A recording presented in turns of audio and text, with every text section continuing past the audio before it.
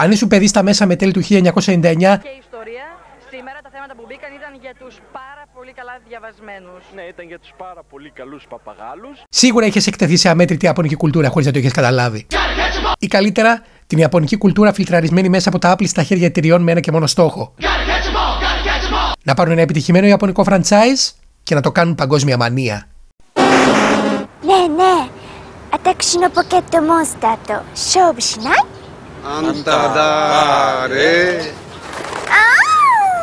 δεν μπορεί να λέγεις σε παιδί το 90s αν δεν σε πιάνει ένα τριχύλα με αυτόν τον ήχο. Δεν μπορείς να λέγεις σε παιδί το 90s αν δεν έχεις μια κόκκινη, μπλε ή κίτρινη κασέτα κάπου πεταμένη στο σπίτι σου με 151 πανίσχυρα τέρατα με πιθανότατα τα χειρότερα designs όλων των εποχών. Pocket Monster. Καούκα, Και δεν μπορεί να λέγεις επειδή το 90s αν δεν ήξερες τα Pokémon.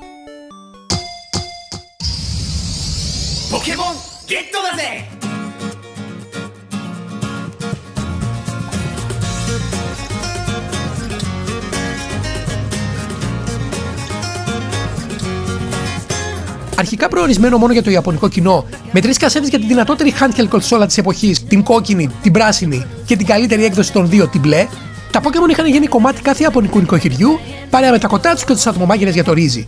Ο Σατώση Τατζήρη πήρε το χόμπι που είχε σαν παιδί να πιάνει έντομα και βατράχους και κατάφερε με αυτό να κυριαρχήσει τον κόσμο. Με τις πρώτες τέσσερις κασέτες να σπάνε κάθε ρεκόρ στο Game Boy, αφήνοντας χιλιόμετρα ακόμη και τη μασκότ της ίδιας της Nintendo.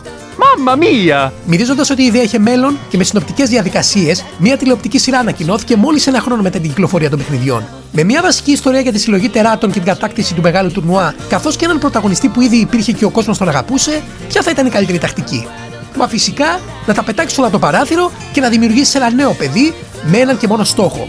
Να βγάλεις σε αυτό το franchise ακόμη περισσότερα λεφτά.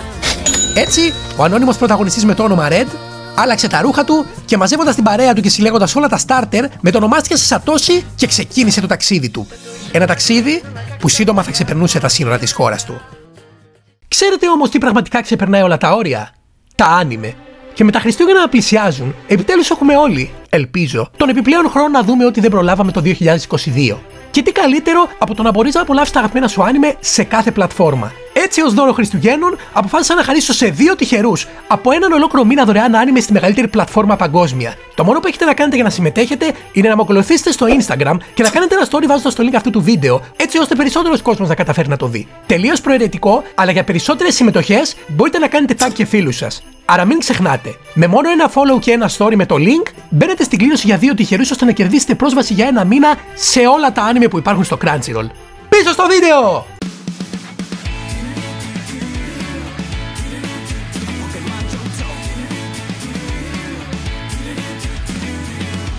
Στην άλλη μεριά όμως του πλανήτη, το 1999, η εταιρεία μεταγλώτησης τη 4Kids έκανε μια τεράστια διαπίστωση. Ότι αυτό το ποντίκι που χρειάζεται πηγόντως μια επίσκεψη στο διαιτολόγο μπορεί να γίνει superstar.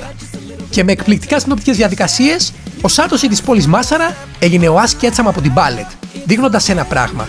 Ότι αυτό το Πίκατσου δεν αστειευόταν. Είχε σκοπό να μπει βαθιά στις τσέπες σου, να ριζώσει για πάντα και να σου πάρει όλα τα ποκεδολάρια από τη μονοπολή σου.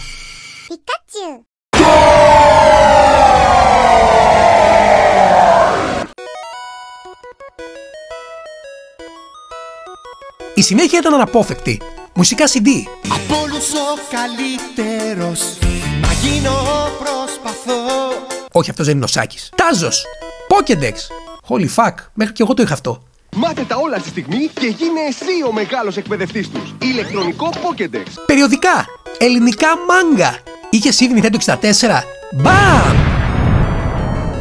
Nintendo 64 Pikachu Edition.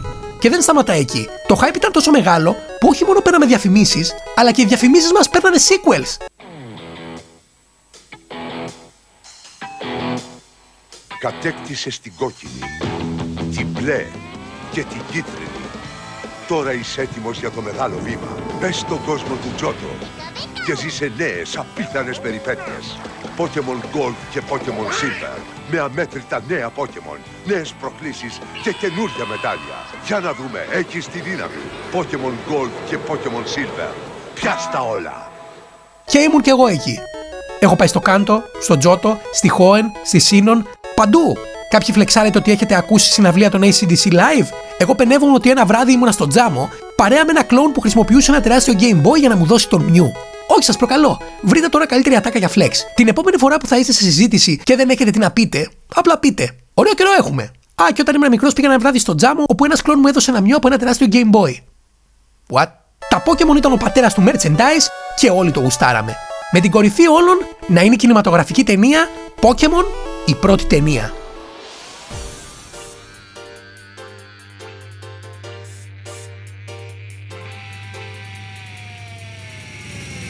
Που από τον τίτλο και μόνο έβγαζε περηφάνεια. Ενώ το Mew 2 vs Mew ήταν στο background, η πρώτη ταινία ήταν εκεί, κάτω από το logo, υπενθυμίζοντάς μας ότι αυτό ήταν μόνο η αρχή. Πινακίδες στο δρόμο, διαφημίσεις, παντού άκουγες για την ταινία Pokémon, με ένα σκοτεινό undertone δείχνοντάς μας ότι αυτό που βλέπεις δεν είναι τα Pokémon της τηλεόρασης. Είναι Pokémon Στη μεγάλη οθόνη. Και σαν κερασάκι στην Ποκεμονοτούρτα σου είχαν την πανέξυπνη ιδέα να μαζέψουν τα μεγαλύτερα μουσικά αστέρια τη εποχή και να τους πούν να δώσουν πόνο σε ένα από τα καλύτερα soundtracks για άνιμε μεταφορά στη Δύση με μόνο ένα στόχο. Να πάρουν μια άνιμε ταινία με λίγο μεγαλύτερο από το συνηθισμένο τηλεοπτικό budget και πασπαλίζοντά την με τη μαγεία του Hollywood να την φέρουν στην κουλτούρα μας, δημιουργώντας έτσι την πιο διάσημη άνιμε ταινία όλων των εποχών, την εποχή που ο όρος άνιμε δεν ήταν καν γνωστός. Και δεν σταματάει εκεί. Με 23 animated ταινίες ως τώρα και με μια ταινία live action που δεν ήταν για τα μπάζα, ο Άς και ο Πίκατσου συνεχίζουν μέχρι και σήμερα τις περιπέτειές τους για πάνω από 1219 επεισόδια παρέα με τον Αργύρι Παυλίδη στην αφήγηση στον κόσμο των Pokemon.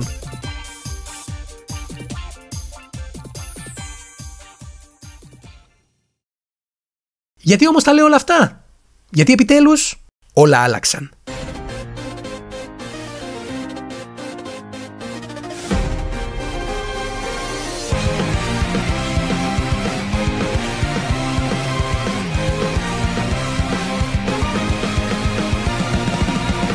Το Pokemon Anime ακολουθούσε πάντα πιστά μια πατέντα. Ο Ash ξεκίναγε ένα ταξίδι, ταξίδευε μαζεύοντας τα Pokemon κάθε περιοχής και μετά από κάμια πενταριά επεισόδια πήγαινε στο τουρνουά όπου αφού τις μάζευε, το Anime πέταγε ένα soft reset και τον έβαζε να επαναλαμβάνει την ίδια διαδικασία σε άλλη περιοχή. Με σχεδόν ποτέ να μην αναγνωρίζει τα λάθη του και ποτέ να μην αναζητάει να ξαναπροσπαθήσει. Η ιδέα του συγγραφικού team πίσω από τη σειρά ήταν ο Ash να πηγαίνει συνεχώς σε κάτι καινούριο. Να πιάνει νέα Pokemon και να μένει πάντα ο ίδιος ώστε να ελκύει τους μικρότερους fans. Στο σημείο που ακόμη και οι ίδιοι να αναρωτιούνται αν όλη η φάση ήταν απλά ένα όνειρο και ο Άς ήταν σε κόμμα μετά το πρώτο επεισόδιο. Όσα redesigns και να έπαιρνε, όσα νέα τέρατα και να μπαιναν στη συλλογή του, η πατέντα δεν άλλαζε. Ή τουλάχιστον δεν άλλαζε μέχρι το κάλος. Έχοντας φτάσει στον τελικό και αντικειμενικά προσπαθήσει ώστε να δημιουργήσει μια τέλεια ομάδα, κατάφερε να φτάσει στο σημείο και να δεθεί με τα Pokémon του, δίνοντάς τους επιπλέον δύναμη. Και έχοντας επιτέλους το δικαίωμα να πετύχει το στόχο του, ο Ας έχασε. Με όλους τους fans του να δείχνουν την ενόχλησή τους. Ήταν λες και φέρθηκαν άσχημα σε κάποιο φίλο μας. Είχες άτομα που ακολουθούσαν τον Ας για 15 χρόνια να αναφέρουν πως το άνιμε δεν τον δικαίωσε. Αυτό που ακολούθησε ήταν η Αλόλα. Μια συνέχεια της ιστορίας με ένα συνέστημα prequel. Μπορεί να είναι η φαντασία μου, αλλά ο συνδυασμός ενός πιο απλού design, το οποίο έκανε τον Ας να δείχνει νεότερο, μαζί με την προπόνησή του για να μάθει τα Z-moves, μου έδωσαν ένα συνέστημα ότι προσπαθούσε. Ότι για πρώτη φορά ήθελε να κερδίσει. Κάτι που είναι πάρα πολύ τυπικό για τα Pokémon είναι ότι με το που ο Ας μπαίνει σε μια νέα περιοχή, αφήνει πίσω τα παλιά του Pokémon, αλλά επίσης και κάθε εμπειρία. Άλλο ένα κύριο στοιχείο είναι ότι σε κάθε νέα περιοχή η ιστορία αντιμετωπίζει τον Ας πάντα ως το μικρό παιδί. Ω το άτομο που ανακαλύπτει τον κόσμο και μέσω αυτού τον ανακαλύπτουμε και εμείς. Έτσι, φτάνουμε στην πιο πρόσφατη περιοχή του άνιμε.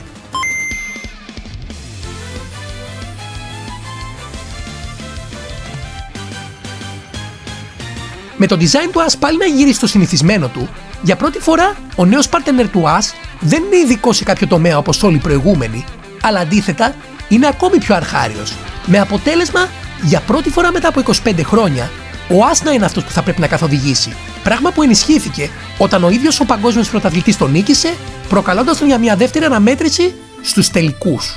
Και πρέπει να καταλάβετε κάτι. Ο Λίον δεν είναι απλά ένα εμπόδιο στο στόχο του Άς. Η σειρά του έδωσε backstory, παρουσιάζοντας και την αρχή του, αλλά επίσης και τον κόπο του για την κορυφή που με κάθε δικαίωμα την άξιζε. Και έτσι ερχόμαστε στο παρόν. Με τον Ά σαν τυπικό πρωταγωνιστή να κρατάει τον όρκο του, η σειρά για πρώτη φορά στα χρονικά αποφασίζει να κάνει κάτι ανήκουστο. Ο Ας θέλει να πολεμήσει με όλα τα όπλα που απέκτησε στις περιπέτειές του. Η ήττα του στο κάλος του έδωσε το Mega Evolution Η εκπαίδευσή του στην Αλόλα του έδωσε τα Z-Moves. Από την Galar έμαθε τον Gigantamax. Όλα του τα νέα Pokémon. Και φυσικά όλες οι επιθέσεις που έμαθε ο Πίκατσου στα ταξίδια τους.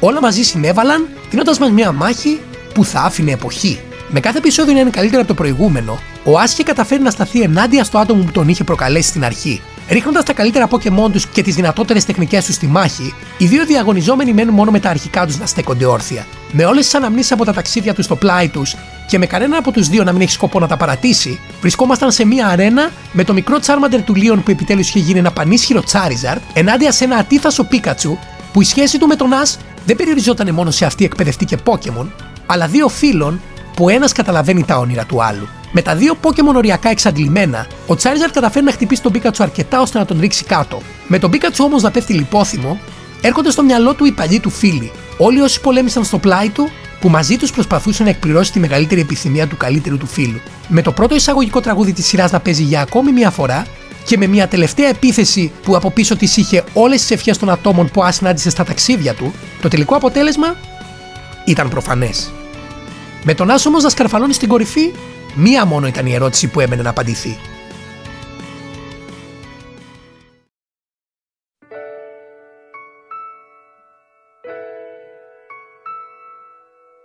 Κάποια στιγμή ο Γκο ρώτησε τον Ας τι πραγματικά σημαίνει να είσαι Pokémon Master και αν αφέντης σημαίνει το ίδιο με το να γίνεις ο καλύτερος εκπαιδευτής.